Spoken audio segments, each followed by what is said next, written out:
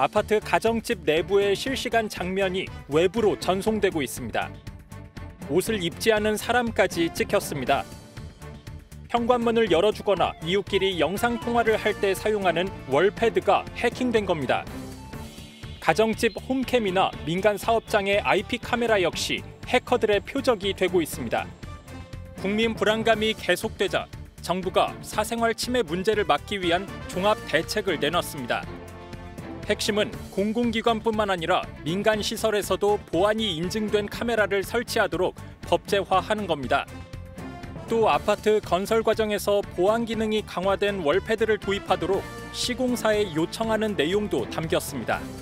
원천적으로 초, 초기부터 보안성 있는 그런 스마트 기기들이 사용될 수 있도록 MOU도 한 바 있습니다. 그래서 다만 정부 발표안이 효과를 나타내기까지는 적지 않은 시간이 필요하고 해킹 수법이 하루가 다르게 진화하는 상황에서 기술적 대책이 구체적으로 다뤄지지 않았다는 점은 한계로 지적됩니다.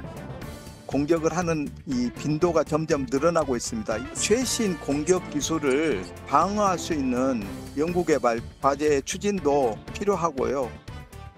전문가들은 비밀번호를 복잡하게 구성하거나 사용하지 않는 카메라를 꺼두는 것만으로도 해킹 예방 효과를 거둘 수 있다고 조언합니다.